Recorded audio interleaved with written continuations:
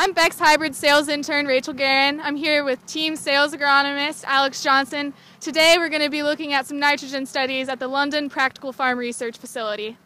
Nitrogen is one of those things that has the potential to have a big impact on our profitability as farmers.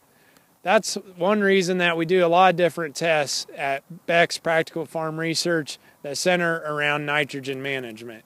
We do tests on the right nitrogen rate, the nitrogen form, nitrogen placement, and when do you put it on. Those four things have the potential to impact our profitability.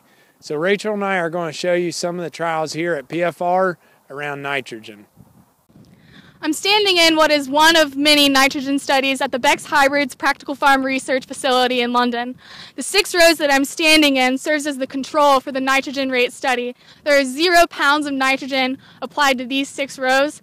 As we move west, we're going to have various increasing amounts of nitrogen applied to the corn to see what allows the farmer to get the biggest bang for their buck when it comes to nitrogen application.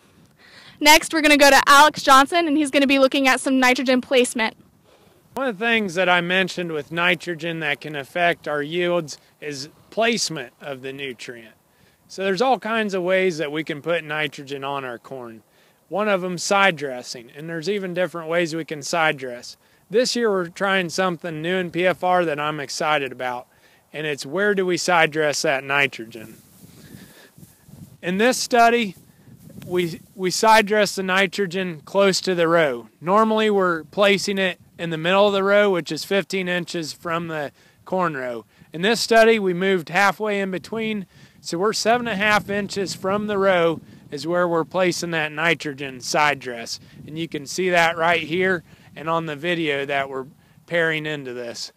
I'm excited about this because it's something new and I think it'll make a difference, but who knows? It may be worse, it may be no different.